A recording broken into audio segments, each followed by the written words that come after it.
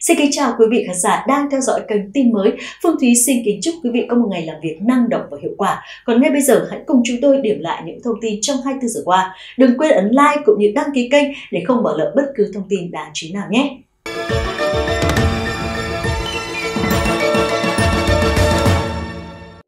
Bản tin lũ lụt Trung Quốc mới nhất ngày 11 tháng 9 năm 2023 Thưa quý vị, một số khu vực ở Bắc Kinh bất ngờ có mưa lớn kèm theo sấm sét và gió giật mạnh cấp 6, cấp 7.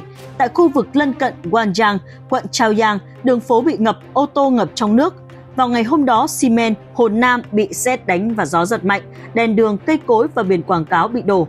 Đoạn video cho thấy một tấm biển quảng cáo lớn bị thổi đổ. Cửa sổ nhà cao tầng bị gió mạnh thổi sập, tia lửa điện xuất hiện trên dây điện hai bên đường. Hiện chưa rõ thương vong, thời tiết cực đoan tiếp tục hoành hành ở Trung Quốc và nắng nóng ở miền Nam vẫn tiếp diễn, đồng thời một đợt mưa lớn mới đang quay trở lại. Vào lúc 6 giờ chiều ngày hôm đó, thành phố Simen đã đưa ra cảnh báo màu vàng về sông bão và gió mạnh. Trong vòng 6 giờ, có gió giật mạnh từ cấp 9 trở lên kèm theo sấm sét mạnh. Cùng ngày, một trận mưa như chút nước ở một số khu vực ở Bắc Kinh kèm theo sấm sét và gió giật mạnh cấp 6, cấp 7. Tại khu vực lân cận Guangzhou, quận Chao Giang, đường phố bị ngập, ô tô ngập trong nước. Ở Sifadi, quận Phong Đài, Bắc Kinh, đường phố ngập trong biển và xe cộ ngập trong nước. Vào sáng sớm cùng ngày, trên cộng đồng người Ba ở quận Thuận Khánh, thành phố Nam Đồng, Tứ Xuyên, có sấm sét và mưa rông và một tia sét tuyến tính cực mạnh xuyên thủng bầu trời. Trước đó một ngày, một cơn bão dữ dội đã bùng phát ở Kì Đông, Giang Su. Người dân địa phương đã chụp ảnh cảnh đường phố. Một số người nói rằng mọi người đang vật lộn để tiến về phía trước trong gió, như thể họ đang ở trong một bộ phim bom tấn khoa học viễn tưởng người dân địa phương không ai thấy được đây là bến sông, là trốn thần tiên. Đồng thời, thời tiết nhiệt độ cao ở miền Nam Trung Quốc vẫn tiếp diễn. Đợt nắng nóng quét qua các tỉnh thành phố Chiết Giang, Phúc Kiến, Giang Tây, Hồ Nam và các tỉnh thành phố khác. Chiết Giang đã trải qua mức nhiệt cao kỷ lục lên tới gần 42 độ C. Theo báo cáo, một bệnh viện ở Chiết Giang đang điều trị cho các bệnh nhân say nắng mỗi ngày.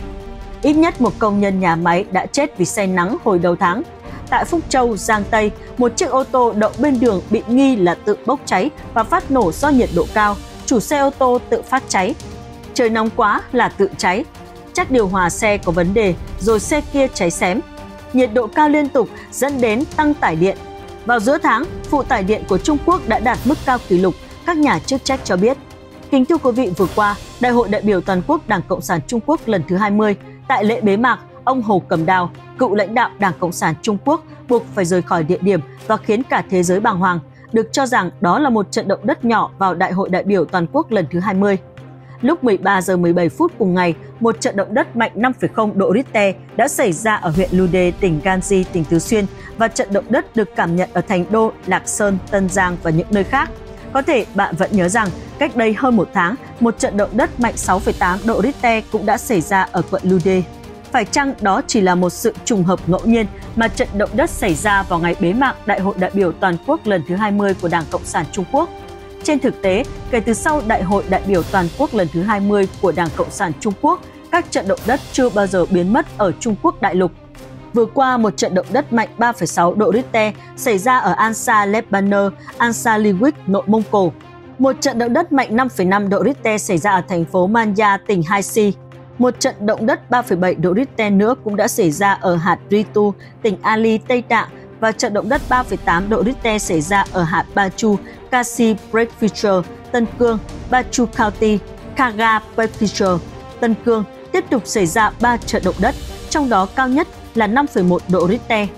Chỉ trong vòng 6 ngày đã có rất nhiều trận động đất diễn ra khá thường xuyên.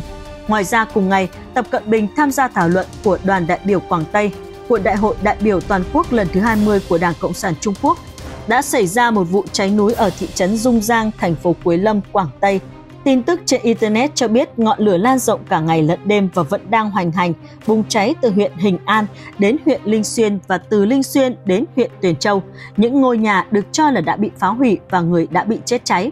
Cũng trong ngày, một vụ cháy núi đã bùng phát tại thị trấn Long Tuyền, huyện Tây An, thành phố Vĩnh Châu, tỉnh Hồ Nam. Đoạn video cho thấy khu vực địa phương vẫn còn đầy lửa vào đêm khuya. Và nhiều ngôi làng và thị trấn cũng chìm trong biển lửa và nhà cửa bị thiêu rụi. Ngoài ra còn có một vụ cháy rừng lớn ở thành phố Ganju, tỉnh Giang Tây. Trước đó, một video lan truyền trên một trang web đại lục cho biết do gió mạnh, ngọn lửa ở Ganju đã bùng cháy hàng chục giờ mà vẫn chưa được dập tắt. Ngoài ra, một đoạn video từ Dujin cho thấy một ngọn núi đã bùng phát ở huyện Vĩnh Gia, thành phố Ôn Châu, tỉnh Chiết Giang. Do gió mạnh nên lửa trên ngọn núi địa phương tiếp tục lan rộng cho đến tận đêm khuya. Tuy nhiên, trong giai đoạn nhạy cảm này, nhiều người không biết đến những tin tức động đất và hỏa hoạn nói trên vì sự im lặng của các phương tiện truyền thông do Đảng Cộng sản Trung Quốc đã phong tỏa hoàn toàn, ngay cả khi họ biết. Nhiều người bao gồm cả Hồng Nan Hai từ lâu đã quen với điều này và không muốn chấp nhận nó. Bởi vì hỏa hoạn, động đất và các thảm họa khác đã xảy ra thường xuyên trong những năm qua, điều này không có gì mới. Đôi khi sẽ có hơn 50 trận động đất xảy ra trong một tháng.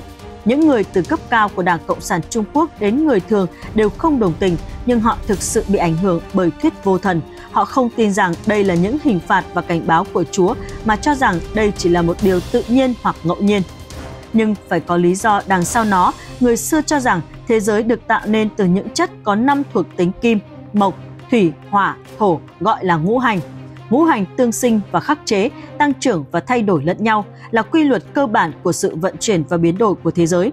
Dựa vào đó, người ta có thể hiểu rõ mọi hiện tượng trên thế giới, chẳng hạn như sự vận hành của các tầng trên trái đất, sự thay đổi của thế giới loài người và sự thay thế của các triều đại. Đông Sông Su, thời Tây Hán đã đưa ra thuyết cảm ứng giữa trời và người trên cơ sở thuyết âm dương ngũ hành. Cụ thể, nghĩa là trời và người là tương khắc, thưởng phạt của trời dựa vào hành vi tốt hay xấu của con người. Các vị thần sử dụng furui và các thảm họa để bày tỏ sự ngưỡng mộ và lên án đối với những kẻ thống trị và sử dụng chúng để hướng dẫn các hoạt động của thế giới con người. Ông cũng nhấn mạnh tác động đáng báo động của thiên tai, tin rằng thiên tai và những thay đổi là do sai lầm của các chính trị gia. Đồng Jong-su cho rằng các thảm họa thiên nhiên khác nhau tương ứng với những điều khác nhau và các thảm họa thiên nhiên khác nhau phản ánh những thất bại chính trị khác nhau, đòi hỏi các biện pháp khắc phục khác nhau. Chẳng hạn động đất cho thấy các quan đại thần hài lòng. Thế lực chính trị không ổn định, người cầm quyền cần tự trách mình không giúp được dân.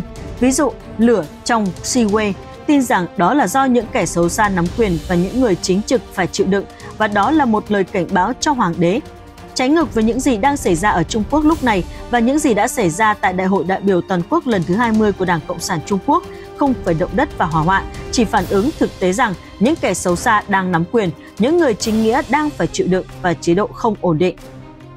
Theo quan điểm của Đông Yong-su, nếu những người cai trị có thể chấp nhận những lời cảnh báo của Chúa và cải thiện khả năng quản lý của họ, họ sẽ đáp lại Chúa và thay đổi số phận của họ, nếu không họ sẽ mất nước và mất quyền lực.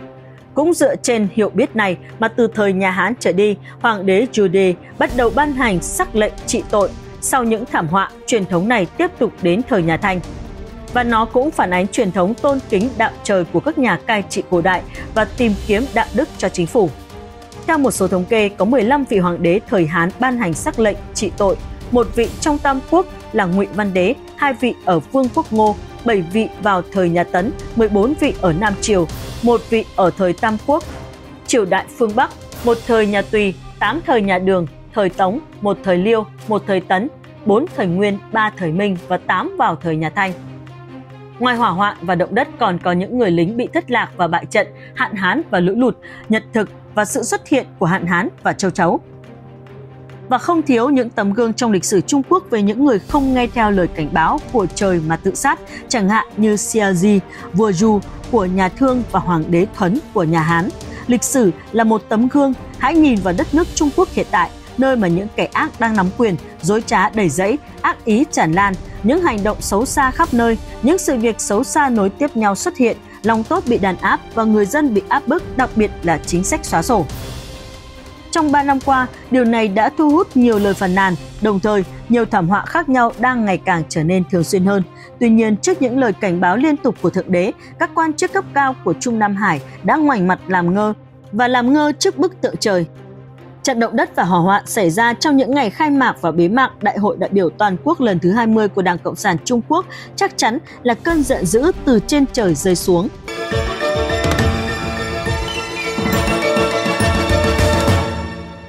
Bản tin vừa rồi cũng đã kết thúc chương trình của tin mới. Cảm ơn quý vị và các bạn đã chú ý theo dõi. Mọi ý kiến đóng góp của quý vị hãy để lại trong phần bình luận video này để chúng tôi có thể kịp thời giải đáp. Còn bây giờ, xin chào và hẹn gặp lại.